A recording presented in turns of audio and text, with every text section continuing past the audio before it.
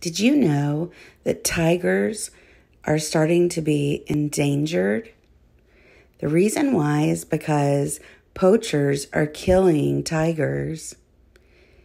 They're doing it for money. So they're killing tigers for money. How can tigers survive? Tigers have been dying in great numbers because poachers are using them for rugs and also mounting them. So, how can tigers survive? And poachers have also been destroying their land. Poachers like the beautiful scenery and plants, and they've been cutting down all the trees. So, how can tigers survive?